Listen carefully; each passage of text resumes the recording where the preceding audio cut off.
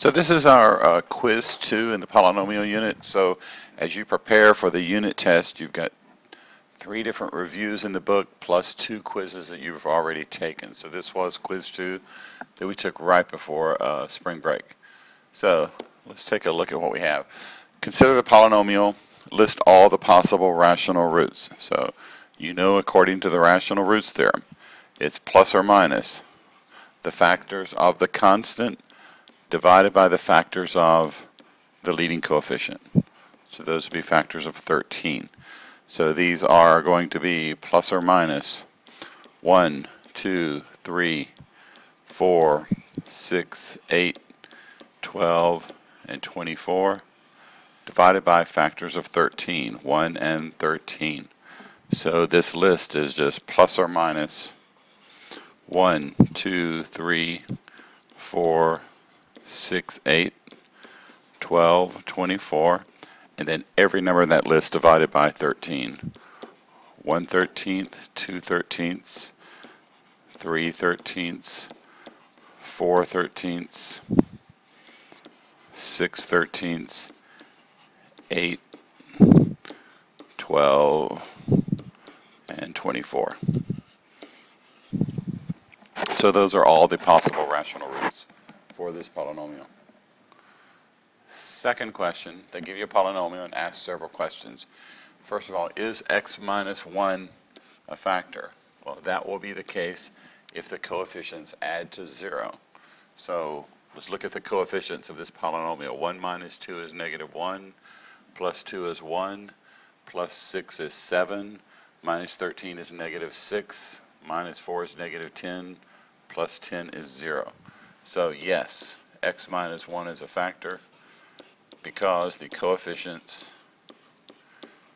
add to 0. Given that x minus square root of 2 is a factor, what, what must also be a factor? This polynomial has real coefficients, so x plus square root of 2 has to be a factor. If 1 plus 2i is a root, then 1 minus 2i also has to be a root. How many roots does this polynomial have? It's a six degree polynomial, so it will have six roots. Circle all that are not possible factors. Okay, the list of possible factors here are going to be plus or minus the factors of 10 divided by the factors of 1. So 1, 2, 5, and 10. Okay, so the things that are not 1, 2, 5, and 10 would be right here. Those are not possible factors of this uh, polynomial. Write the equation of the polynomial of least degree with all real coefficients having the roots 1 and 1 plus the square root of 5. So this polynomial is f of x equal x minus 1 and then it's going to have to have roots of 1 plus square root of 5 and 1 minus square root of 5. So my roots, my factors are going to be x minus 1 minus root 5, x minus 1 plus root 5. So that's the polynomial, and now I just need to multiply everything together. So if I take these last two terms, so x minus 1 minus root 5 x minus 1 plus root 5. And I multiply that together.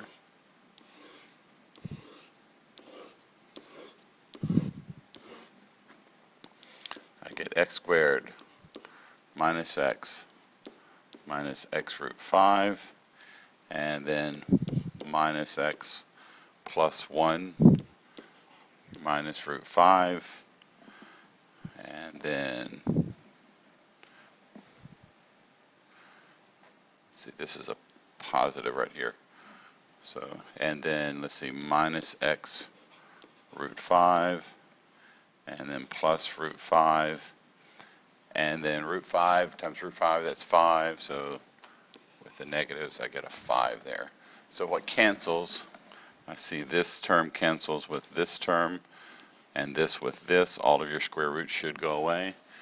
So this becomes x squared minus 2x plus 6. So f of x equal x minus 1 x squared minus 2x plus 6.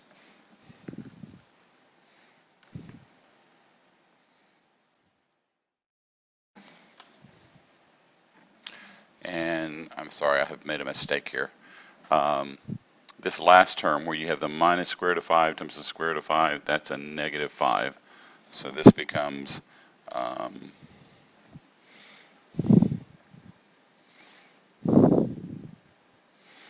x squared minus 2x minus 4. Sorry about that.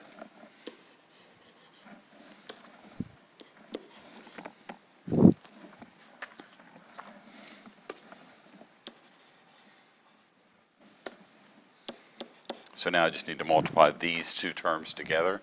So in order to do that, I'm going to have an x minus 1, x squared minus 2x minus 4. This is x cubed minus 2x squared minus 4x minus x squared plus 2x plus 4 so the final answer is f of x equal x cubed minus 3x squared minus 2x plus 4. So again, the key here was the irrational root 1 minus root 5. So we also needed to have the root 1 plus root 5 to make this a polynomial with real coefficients. Okay, now we have a polynomial. We're going to list the possible rational roots and then find all the roots and write it in fully factored form. So this is going to be plus or minus the factors of 20 divided by the factors of 1. So this list is plus or minus 1, 2, 5, 10, 20. So those are all the possible uh, rational roots.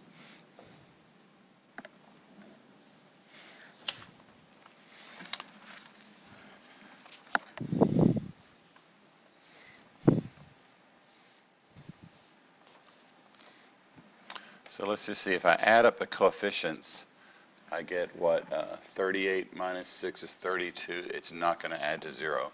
So I know that 1 is not going to be a factor. Uh, 1 is not going to be a root. So I'm going to start with negative 1. So first thing I'm going to try, I'm going to try negative 1. So I'm going to do a synthetic division with negative 1. So I have my x to the fourth, my x cubed, x squared, x, and constant. So bring the 1 down, that's negative 1, negative 4. Multiply here, negative 2. Multiply to get 2, that's a 20. Negative 20 and a 0. So that means that x equal negative 1 is a solution. x plus 1 is a factor.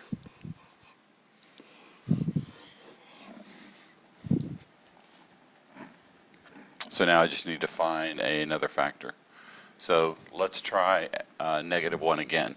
So negative 1, and I'm going to use these numbers right here. So 1 minus 4 minus 2 and 20. So bring the 1 down, multiply here, 5 minus 2 is 3, negative 3, that does not work, okay? So I've 1 and negative 1 are ruled out. Let's move on to 2 and negative 2. So let's try 2 so 1, negative 4, negative 2, and 20. This is negative 2. That does not work. Let's move on to negative 2. 1, negative 4, negative 2, and 20.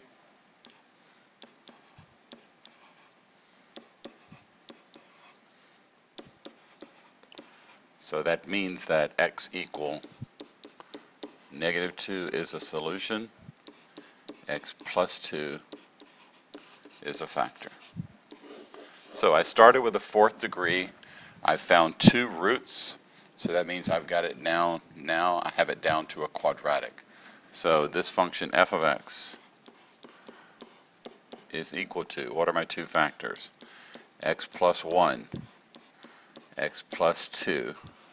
And then if I read from this line right here, that is x squared minus 6x plus 10. Are there numbers that multiply to 10 and give me negative 6? Uh, there are not. So I'm going to need to use quadratic formula here on this one. So I'm running out of space, but I think we can do it over here in the corner. So I need to solve x squared minus 6x plus 10 equals 0. Okay, so b squared minus 4ac, that is equal to 36 minus 4 times 1 times 10. So that's 36 minus 40, which is negative 4. So using the quadratic formula, x is equal to negative b plus or minus the square root of b squared minus 4ac over 2a. So this is 6 plus or minus 2i over 2, which is 3 plus or minus i. So my roots are x equal negative 1, x equal negative 2, and x equal 3 plus or minus i. Fully factored form, x plus 1, x plus 2, x minus 3 plus i and x minus 3 minus i. So that is in fully factored form. Problem 5, give a polynomial of least degree with real coefficients having the factors x plus 3i, x plus 1, and x minus 1. So we know that f of x will equal x plus 1 x minus 1, x plus 3i, and x minus 3i. So it's just a matter of now putting these things together. Um, so the first two, the last two terms here, so x plus 3i times x minus 3i. So in both of these cases, I can FOIL this. So f of x, when I look at the first two terms, that's just x squared minus 1. Okay, and when I look at the next two terms, that's x squared uh, plus 3ix minus 3ix, and then minus 3i squared. So f of x equal x squared minus 1. i squared is negative 1, so what you have in this last term here, you've got 9i squared. So that's going to be x squared plus 9. And now it's just a matter of multiplying these together. So f of x is equal to x to the fourth minus x squared plus 9x squared minus 9. f of x equal x to the fourth plus 8x squared minus 9.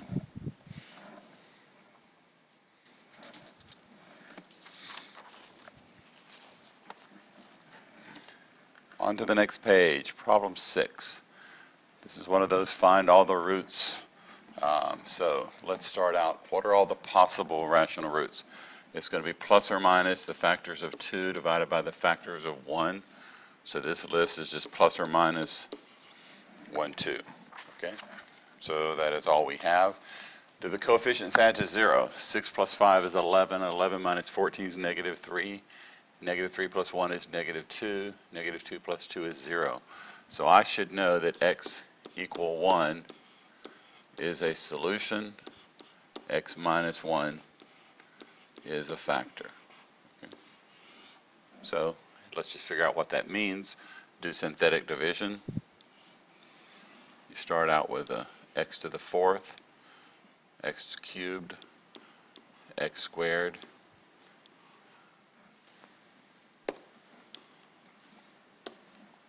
an x term and a constant. Bring the 6 down. 11.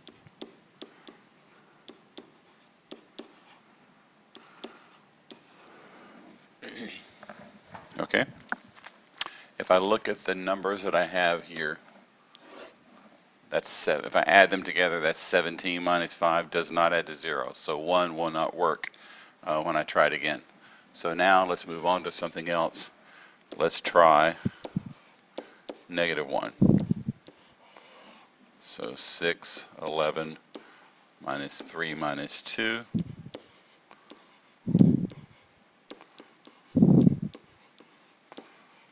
That does not work. and let's see, did I make a mistake there? Let me double check. So this uh,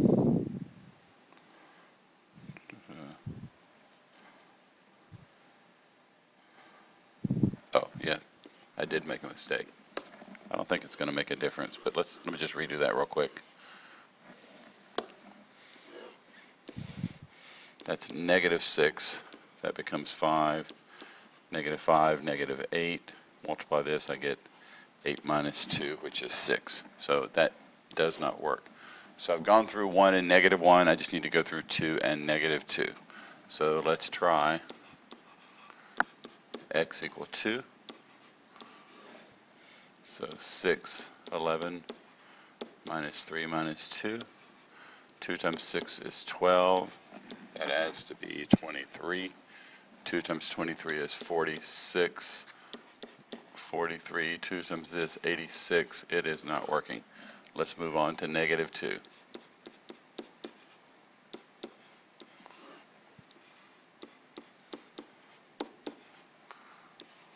This is what, negative 12. Multiply here, I get 2. Multiply here, I get 2, and I get a 0. So that means that x plus 2 is a factor. So I started with a fourth degree. I have two factors now. Okay, so I can write f of x equal x minus 1 x plus 2.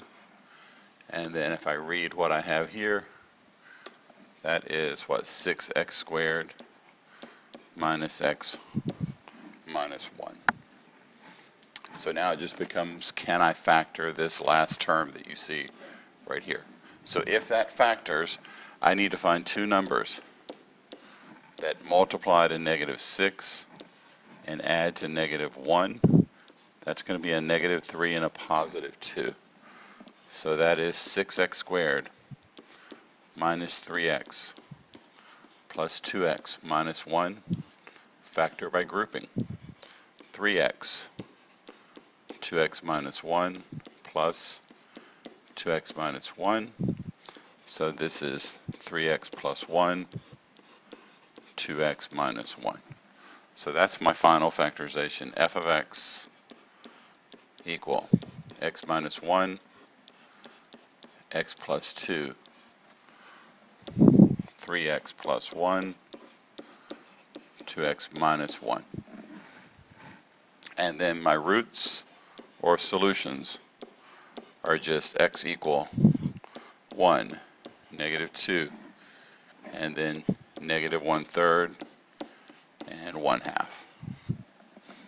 And we're all done with that. Let k be a real number. Given that x minus k is a factor of this polynomial, find the value of k. Big hint about synthetic division. So if x minus k is a factor, that means when I do synthetic division with a k, I better get a zero remainder. So 2x cubed, um, 0 x squared Uh, the coefficient of x is a 1, and the constant is minus k plus 2. So if I bring the 2 down, multiply and you get 2k. Add those together and you get 2k. k times 2k is 2k squared. Add those things together and you get 2k squared plus 1. Now multiply k by that, and you get 2k cubed plus k. You add these things together, and you get what? 2k cubed minus k and k cancel, so plus 2. So that is my remainder, 2k cubed plus 2. But I know that this remainder must equal 0. That means that 2 times k cubed plus 1 has to equal 0. That is the sum of cubes. So I know that 2, k plus 1, k squared minus k plus 1 equals 0. So this is going to have complex solutions. My, this will be my only solution. So x equal negative 1. That is the only real solution uh, for this polynomial. And then the second half of the bonus, if k were a complex number, what would be the values of k be? So that means that k squared minus k plus 1 equals 0.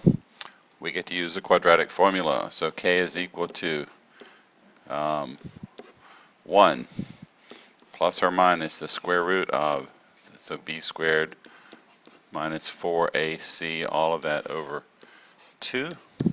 So that is 1 plus or minus i square root of 3 over 2. So that's 1 half plus or minus the square root of 3 over 2 i. So those would be the complex solutions for i. So again, that's it. That is our quiz 2. All of the problems worked out.